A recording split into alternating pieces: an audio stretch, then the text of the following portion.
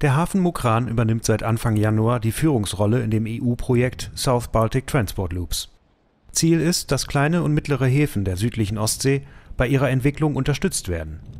Der Fokus liegt dabei auf der Stabilisierung und Verbesserung bestehender Verbindungen also mit Verbindungen sind nicht nur die Seeverbindung gemeint, sondern natürlich auch die Hinterlandanbindung, demzufolge den Hafenstandort besser anzuschließen. Ähm, da erhoffen wir uns sehr viel auf dem Thema Schienenwege. Wir werden natürlich nicht äh, neue Straßen bauen mit dem Projekt, völlig klar, aber logistische Prozesse so zu optimieren, dass der Hafen äh, gut angebunden wird und demzufolge gesamte Ketten abgebildet werden können.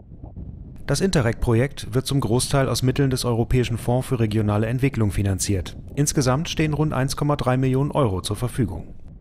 Häfen aus Dänemark, Polen und Schweden sind ebenfalls an dem Projekt beteiligt. Der Mukran Port übernimmt die Rolle des sogenannten Lead-Partner ja, der Mukran Port ist Leadpartner in dem Projekt, das heißt, er ist für Koordination, Abstimmung und natürlich also Abstimmung innerhalb der Partner, aber auch natürlich für die finale Abstimmung und auch Abrechnung natürlich gegenüber dem Joint Secretary von der EU. Weiterhin erhofft sich der Fährhafen Sassnitz von seiner Beteiligung beim South Baltic Transport Loops auch die Schaffung neuer und die Sicherung vorhandener Arbeitsplätze.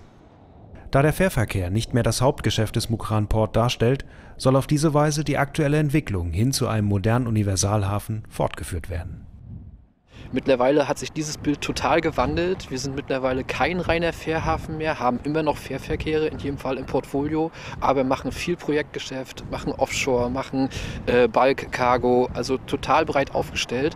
Und das ist äh, im Prinzip äh, ist zusammengefasst in dem Wort Universalhafen. Also universell für sämtliche Gutarten, für sämtliche Schiffsarten äh, zu nutzen. Bis März 2021 wird das Projekt von der EU gefördert. Anfang Januar kamen die Partner bereits im schwedischen Karlshamn zusammen. Diese Treffen sollen auch in Zukunft regelmäßig durchgeführt werden. Sie dienen unter anderem dem Austausch über Zielsetzungen und Ergebnissen und sollen die wirtschaftlichen Beziehungen untereinander verstärken